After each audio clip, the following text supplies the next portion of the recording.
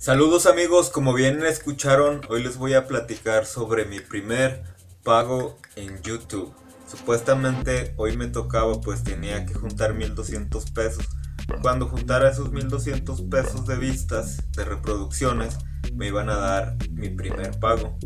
Hoy tocaba y hoy me dijeron que, que tenía que agregar unos datos fiscales que acabo de mandar, que se tardan 5 días en revisarlos y que si bien me va, mi dinero iba a estar listo para el 20 de este mes. Pues yo ya lo quería el dinero, ¿verdad? Ya hasta sabían que me lo iba a gastar. Pero si no llegó, pues esperamos un poquito más. De todos modos, pues yo sé esperar, no soy impaciente. Soy un hombre paciente y si quiero el dinero, pero todavía no me urge. Ojalá y llegue para el 20 porque sí lo voy a ocupar. Eso pasó con mi primer pago de YouTube. Básicamente me preguntaban si era residente de Estados Unidos, cosa que no creo que tendrían por qué preguntar porque ellos tienen mis datos, pero bueno. En inglés y les contesté obviamente que no, que no vivo en Estados Unidos. Me preguntaron que si tenía negocios en Estados Unidos, también les dije que no. Y por último me preguntaron, ya no me acuerdo, pero otra cosa relacionada con Estados Unidos, a lo que obviamente contesté que no. Y ya no me aparece que está retenido mi pago, ya nada más me dicen que eh, están revisando los datos fiscales que les acabo de enviar. De cine he visto dos películas últimamente.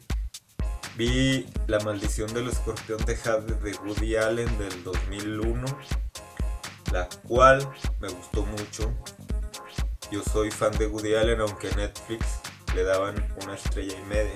O sea que tal vez si no eres fan de Woody Allen, o no fan, ¿verdad? Que no, que no gustes de las películas de Woody Allen, entonces no te va a gustar. Y hasta esa estrella y media se te puede hacer mucho. Pero a mí se me hizo poco.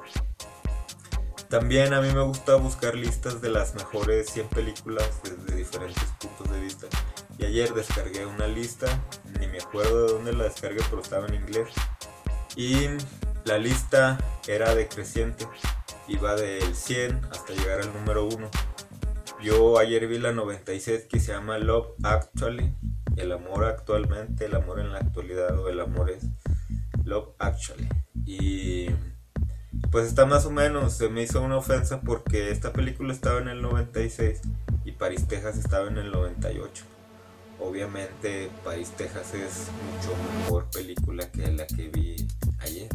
Para mí, Paris, Texas debe estar entre las mejores 10 películas de la lista de mis mejores 100 películas.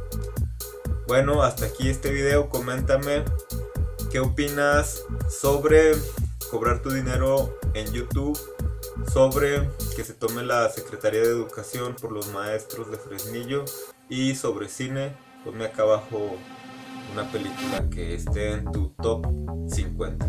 Hasta luego, nos vemos.